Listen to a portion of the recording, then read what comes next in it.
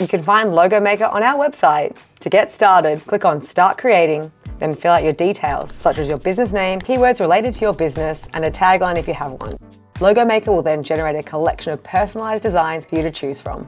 You can scroll through these and select your favorite. You can also adjust your business name and details, the layout preferences for your design, and what type of graphics you would like to see more of. Symbolic is a type of graphic depicting relevant keywords from your business, such as a tree, bird, or bridge. Monogram is a type of graphic that combines the initials of your business into a symbol.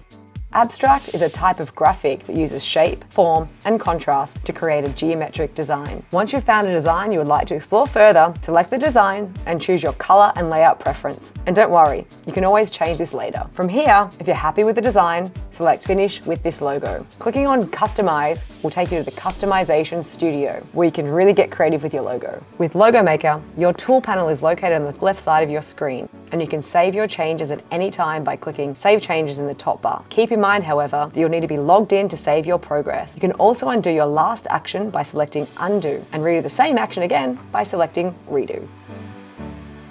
In the next video, we'll dive into the Tools panel to walk you through the customizable options for your logo.